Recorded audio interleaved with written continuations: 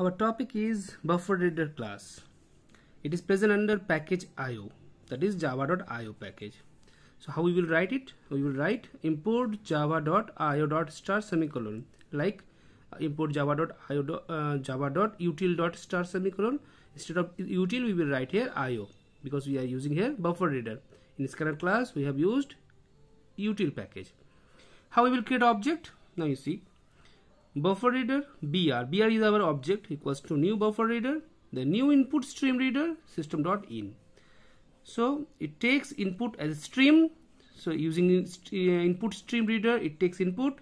Then we convert it into buffer reader using buffer reader class. And then it takes input it creates the object. Now br is the object. Now how we will take the input? Suppose we want to take input as integer. So int i equals to integer dot parseInt br dot readline so why this much we are using? This is our original um, function readline function. This function we use to take input.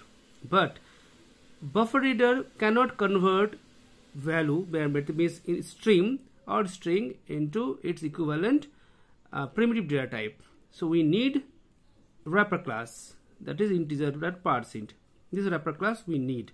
Okay? Suppose example is there scanner class. Scanner class here scanner sc equals to new scanner system dot in. That is our sc object scanner class object.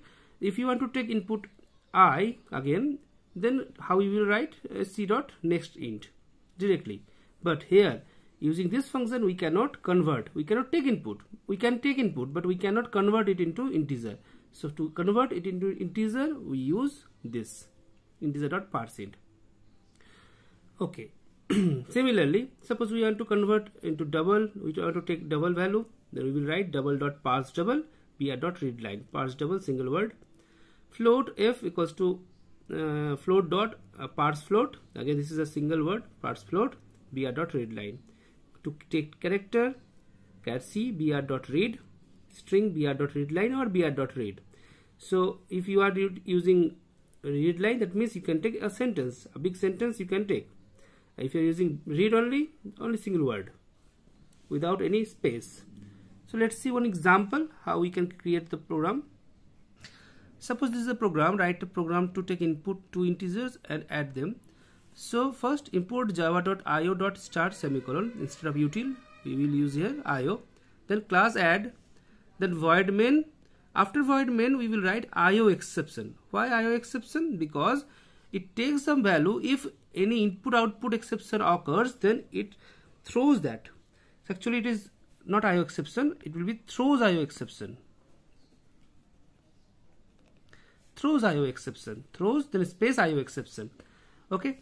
So afterwards uh, buffer reader br equals to new buffer reader input uh, new input stream reader system dot in that object we have to create. Then suppose we are taking we are taking one integer first integer suppose enter first integer int a equals to integer dot parseInt br dot read line and then another second integer b int b equals to integer dot parseInt br dot read line. Afterwards same thing. That is simple you take another variable and add the values and then print the values.